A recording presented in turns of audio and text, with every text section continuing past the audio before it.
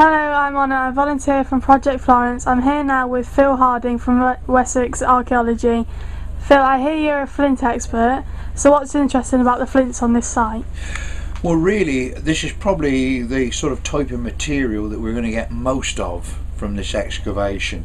Um, we'll probably expect to get some bits of pottery, uh, and obviously we get some Saxon burials but most of the recognisable material is going to be flints and we've got to remember that for most of the time that this barrow was in use they were although they were probably into the Bronze Age most of what they were doing on making tools on a daily basis was made out of flint.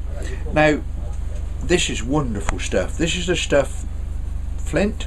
It comes from the chalk.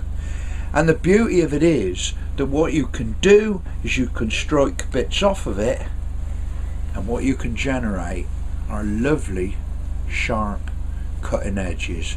Now these are the most perfect knives that you can have. That's the value of the material and that's why we find so much of it. People use so much of it for such a long period of time. So do you know how just how old these flints are? Well, I've done some uh, work on this monument before when they did a previous excavation here. And what the flints tell us is that people were actually here before the barrow was was constructed.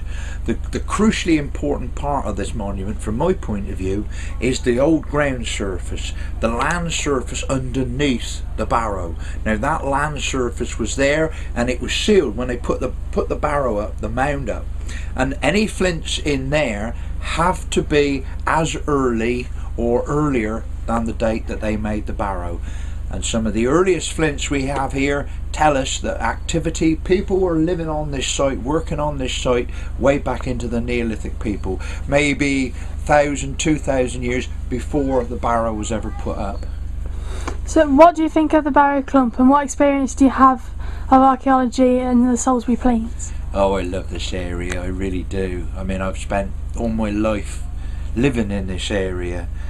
I've grown grown used to the idea of being having barrows around on the site. Um, and this particular monument, I've I've visited it many times.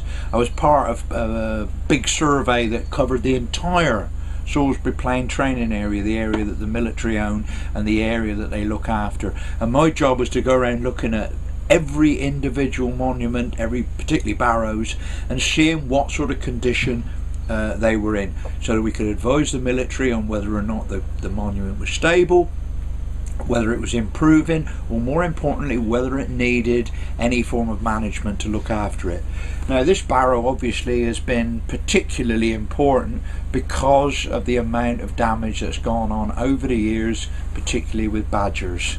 And so, this is a, a monument that I've grown very, very familiar with, and I've watched it over the years. And of course, I've been able to monitor just how much damage the badgers have done. So, it's a it's a I guess it's an old friend. I've grown used to it. I love it to bits. I'm sorry that it's got um, so badly mutilated now, but I feel privileged to be part of the, one of the team that's going to be here to try and tell its story. Okay, thank you for your time.